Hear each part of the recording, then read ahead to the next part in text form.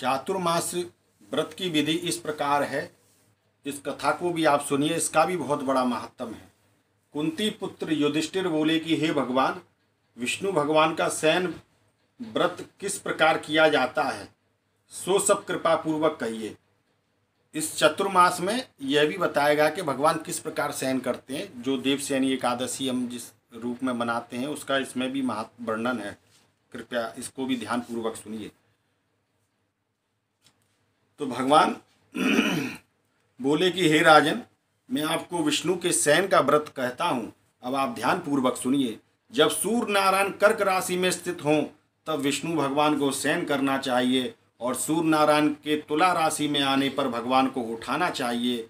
लौंग मास, यानी कि अधिक मास, के आने पर भी विधि इसी प्रकार चलती रहती है। इस विधि से अन्य देवी देवताओं को सैन न करना चाहिए। आषाढ़ मास के शुक्ल पक्ष की एकादशी का विधि पूर्वक व्रत कर, करना चाहिए। उस दिन विष्णु भगवान की प्रतिमा बनानी चाहिए और चातुर्मास व्रत नियम से करना चाहिए। सबसे प्रथम उस प्रतिमा को स्नान करना आना चाहिए। फिर सफ़ेद वस्त्रों को धारण कराकर तकियादार सैया पर शयन कराना चाहिए। उनको धूप, दीप नैवेद्य आदि से पूजन कराना चाहिए। भगवान का पूजन शास्त्र ज्ञाता ब्राह्मणों के द्वारा करना, कराना चाहिए। तत्पश्चात भगवान विष्णु की इस प्रकार स्तुति करनी चाहिए। हे भगवान, मैंने आपको शयन कराया है, आपके शयन से संपूर्ण विश्व सो जाता है। इस तरह विष्णु भगवान के सामने हाथ जोड़कर प्रार्थना करनी चाहिए कि हे भगवान, अब आप चार मास तक शयन करें, तब तक मेरे इस चातुर्मास व्रत को निर्विधन रखें। इस प्रकार विष्णु भगवान की स्तुति करके शुद्ध भाव से मनुष्य को दातुन आदि के नियम को ग्रहण करना चाहिए। विष्णु भगवान के व्रत को शुरू करने के पाँच काल वर्णन किए गए हैं। देवशैनी एकादशी से लेकर देवोत्थान एकादशी तक चातुर्मास व्रत को करना चाहिए। द्वादशी, पूर्णमासी, अष्टमी या संक्रांति को व्रत प्रारंभ करना चाहिए और कार्तिक मास के शुक्ल पक्ष की द्वादशी को समाप्त कर देना चाहिए। इसके व्रत के समस्त पा, इस व्रत को करने से समस्त पाप नष्ट हो जाते हैं। जो मनुष्य इस व्रत को प्रतिवर्ष करते हैं। वह सूर्य के समान देदीप, देदीप्यमान विमान पर बैठकर विष्णु लोक को जाते हैं। हे राजन, अब आप इसमें दान का पृथक पृथक फल सुनिए। जो मनुष्य देव मंदिरों में रंगीन बेल बूटे बनाता है, उसे सात जन्म तक ब्राह्मण की योनि मिलती है। जो मनुष्य चातुर्मास के दिनों में विष्णु भगवान को दही, दूध, घी, शहद और मिश्री के द्वारा स्नान कराता है, वह वैभवशाली होकर सुख भोगता है।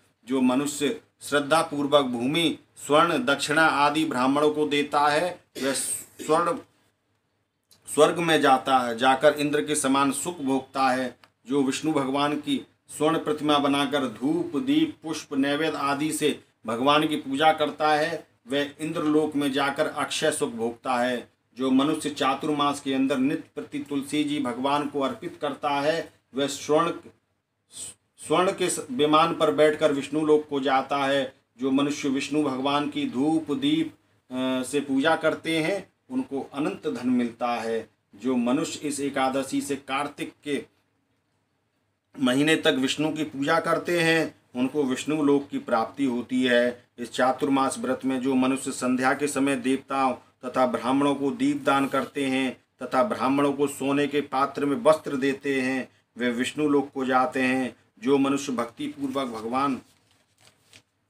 के चरणामृत लेते हैं, वे संसार के आवागमन के चक्र से छूट जाते हैं।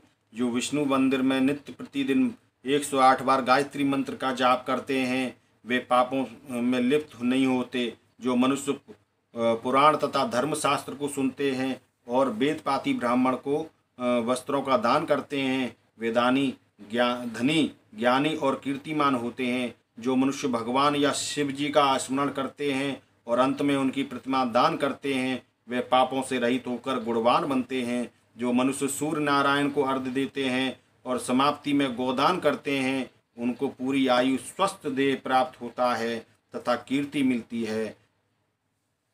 कीर्ति, धन और बल पाते हैं। चातुर्मास में जो मनुष्य गायत्री मंत्र द्वारा तिल में होम करते हैं, चातुर्मास समाप्त हो जाने पर तिल का दान करते हैं। उनके समस्त पाप नष्ट हो जाते हैं और निरोग शरीर मिलता है तथा सुपात्र संतान होती है, जो मनुष्य चातुर्मास व्रत में अन्न अन्न से होम करते हैं और समाप्त हो जाने पर घी, घड़ा और वस्त्रों का दान करते हैं, वे ऐश्वर्यशाली होते हैं। जो मनुष्य तुलसी जी का, तुलसी जी को धारण करते हैं तथा अंत में विष्णु भगवान के निमित्त ब्राह्मण को दान कर, करते हैं, वे विष्णु लोक को जाते हैं। जो मनुष्य चातुर्मास व्रत में भगवान के सैन के उपरांत उनके मस्तक पर नित्य प्रतिदिन धूप, दूध चढ़ाते हैं और अंत में स्वर्ण की दूरवा दान करते हैं तथा दान देते समय जो इस प्रकार की स्तुति करते हैं कि हे दूरवे, जिस भांति इस पृथ्वी पर शाखाओं सहित तुम फैली हुई हो, उसी प्रकार मुझे भी अजर अमर संतान दो।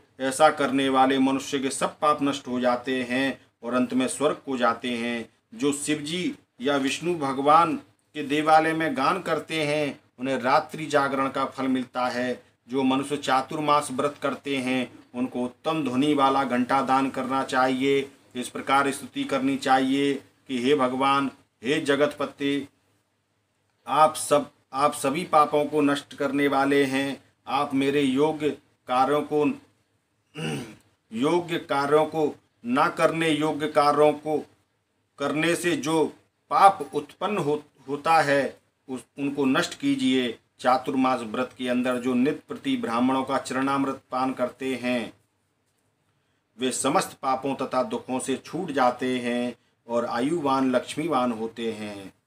चातुर्मास व्रत के समाप्त हो जाने के बाद ही गोदान करना चाहिए। यदि गोदान ना कर सको तो वस्त्र दान अवश्य करना चाहिए। जो ब्राह्मणों को नित्य प्रतिदिन नमस्कार करते हैं उनका जीवन सफल हो जाता है। और समस्त पापों से छूट जाते हैं। चातुर्मास व्रत की समाप्ति में जो ब्राह्मणों को भोजन कराता है उसकी आयु तथा धन में वृद्धि होती है। जो अलंकार सहित बछड़े बाली कपिला गाय वेद पा, वेद पाटी ब्राह्मण को दान करते हैं वे चक्रवर्ती आयुवान पुत्रवान राजा होते हैं और स्वर्गलोक में प्रलय के अंत तक इंद्र के समान राज्य करते हैं। जो मनुष्य सूर्य भगवान तथा गणेश जी को नित्य नमस्कार करते हैं उनकी आयु तथा लक्ष्मी बढ़ती है और यदि गणेश जी प्रसन्न हो जाएँ तो उसे मनवांचित फल प्राप्त हो जाता है। गणेश जी और सूर्य की प्रतिमा ब्राह्मण को देने से सब काम कर्मों की सिद्धि होती है। जो मनुष्य दोनों ऋतुओं में महादेव जी की प्रसन्नता के लिए तिल और वस्त्रों के साथ तांबे का पात्र दान करते हैं, उनके यहाँ सुंदर स्वस्थ और सुंदर शिव भक्त संतान होती है। चातुर्मास व्रत की समाप्ति कर चांदी पात्र या तांबा पात्र गुड़ और तिल के साथ दान करना चाहिए जो मनुष्य विष्णु भगवान के शयन करने के उपरांत यथाशक्ति वस्त्र और तिल के साथ स्वर्ण दान करते हैं उनके समस्त पाप नष्ट हो जाते हैं और इस लोक में भोग तथा परलोक में मोक्ष प्राप्त होता है। चातुर्मास व्रत के सम, समान होने पर सैयादान समाप्त होने पर सैयादान करते हैं, उनको अक्षय सुख मिलता है और कुबेर के समान धनवान होते हैं। वर्षा ऋतु में जो गोपी चंदन देते हैं, उन पर भगवान अत्यंत प्रसन्न होते हैं। व्रत के समाप्त हो जाने पर इस प्रकार उधापान करना चाहिए। चार छटाक, यानी कि ढाई सौ ग्राम, व आठ छटाक, यानी कि पाँच सौ ग्राम वाले तावे के आठ पात्र या अड़तालीस छटाक ढाई किलो का एक तावे का पात्र लेकर उसमें शक्कर भरकर तथा वस्त्र, फल, दक्षिणा सहित ब्राह्मण को दे देना चाहिए। शक्कर सहित तावे का पात्र सूर्य को प्रिय है, इससे मनुष्य के समस्त रोग नष्ट हो जाते हैं। उसके दान के प्रभाव से बलवान, कीर्तिवान संतान उत्पन्न होती है। हे कुंती पुत्र, इस चातुर्मास व्रत को करने से करने वाला मनुष्य गंधर्व विद्या में निपुण और स्त्रियों को प्रिय होता है, जो मनुष्य चातुर्मास व्रत में ब्राह्मणों को साक फल आदि देते हैं और अंत में यथाशक्ति दान दक्षिणा वस्त्र आदि देते हैं, वह सुखी राजयोगी बनते हैं। शाक और फल देवता तथा मुनियों को प्रिय है, अतः उसके देने से देवता प्रसन्न होते हैं, जो मनुष्य इस व्रत में प्रतिदिन सौठ, मिर्च, पीपल और दक्षिणा के साथ दान करते हैं और व्रत के अंत में स्वर्ण तथा सौठ, मिर्च आदि दान करते हैं, वे सौ वर्ष तक जीते हैं और अंत में स्वर्ग को जाते हैं।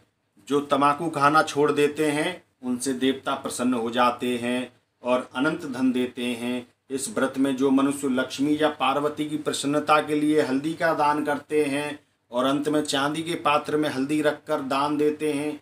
वे स्त्रियाँ अपने पति के साथ और पति अपनी स्त्री के साथ सुख भोगते हैं।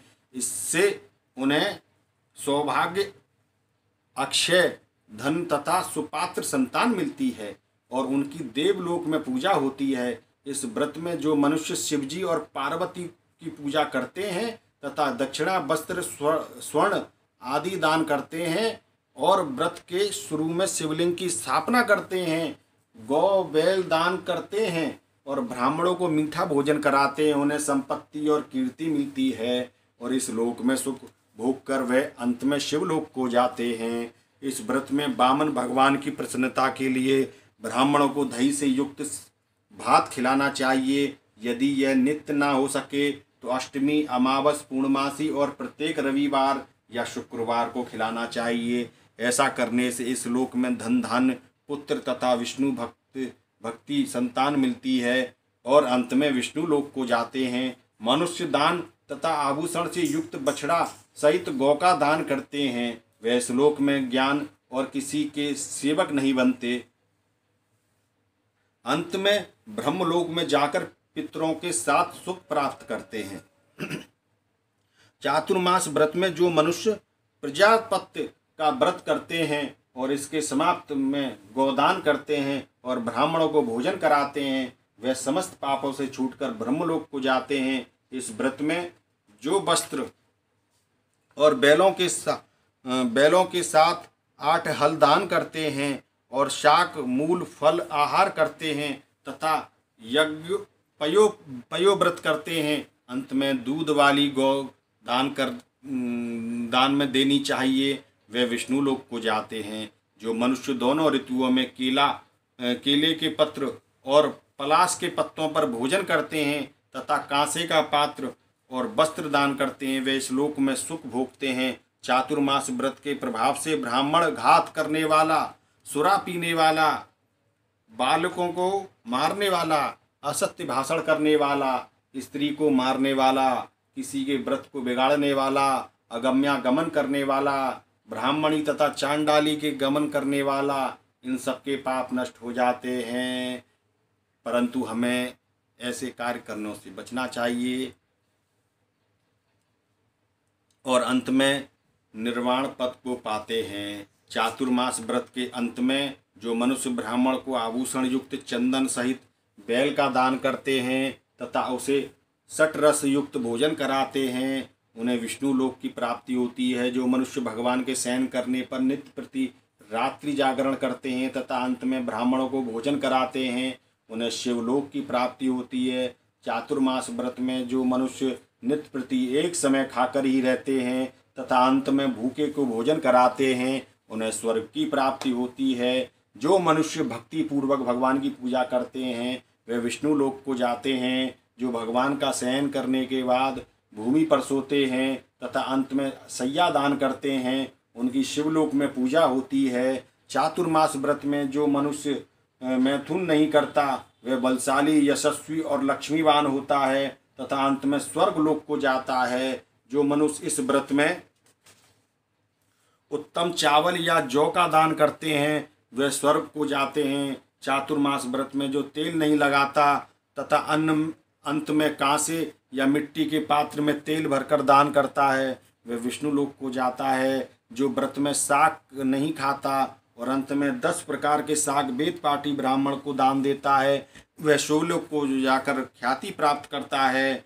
जो मनुष्य इस व्रत में गेहूँ को त्याग कर भोजन करते हैं तथा स्वर्ण का दान करते हैं, उन्हें अश्वमेघ यज्ञ का फल की प्राप्ति होती है। जो मनुष्य इस व्रत में अपनी इंद्रियों का दमन करते हैं, उन्हें अश्वमेघ यज्ञ का फल मिलता है। जो मनुष्य श्रावण मास में शाक भादों में दही, क्वार में दूध और कार्तिक में दाल को त्याग देते हैं, उन्हें निरोगी काया प्राप्त होती है। जो स्नान करके भगवान की पूजा करते हैं, वे हरिलोक को जाते हैं। जो मनुष्य इस व्रत में मीठा, खट्टा, कठुआ पदार्थ को त्याग देते हैं, वे समस्त दुर्गुणों से दूर छूटकर स्वर्ग को जाते हैं। जो मनुष्य इस व्रत में चंद्रायण व्रत करते हैं वे स्वर्ग लोक को जाते हैं। जो मनुष्य इस व्रत में एकमात्र दूध पर ही निर्वाह करते हैं, उनका वंश प्रलय के अंत तक चलता है। जिस दिन भगवान सैन से उठते हैं, उस दिन ब्राह्मणों को दान, वस्त्र तथा भोजन देना चाहिए। यह समस्त दान वेद पाटी ब्राह्मण को देना चाहिए। चोरी करने वाला मदपान करने वाला अगम्यागमन करने वाला, मिथ्या बोलने वाला तथा अन्य त्याज्या करने वाला, ब्राह्मण को दान देने से उल्टा पाप ऐसे ब्राह्मण को नहीं किसी प्रकार का दान नहीं देना चाहिए। उल्टा उससे पाप और लग जाता है। नर्क की प्राप्ति होती है, ऐसा करने से। यह चातुर्मास महात्म था, और देवशैनी एकादशी, यदि इसमें किसी प्रकार की त्रुटि हो तो कृपया क्षमा कीजिएगा। जो भी इस व्रत की पुस्तक में लिखा हुआ है, उसी प्रकार मैंने आपको यह कथा वर्णन की है। बोलिए, जय जय श्री राधे।